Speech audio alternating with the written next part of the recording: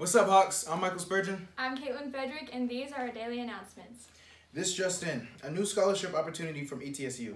Seniors with a 26 ACT and unweighted 3.5 GPA, if you are interested in the liberal arts and humanities, consider applying to the Global Citizens Honors Program at ETSU.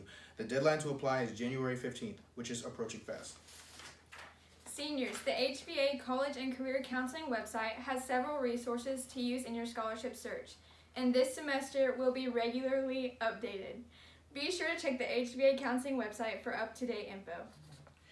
Any student that is interested in joining the Hardin Valley Academy football team, see Coach Potter during your lunch. Seniors, it's time to hunker down and start the private scholarship search. The East Tennessee Foundation is a great place to start. Deadlines for most of the scholarships are on February 16, 2021. All right, you know what to do. Keep it fly, Hawks.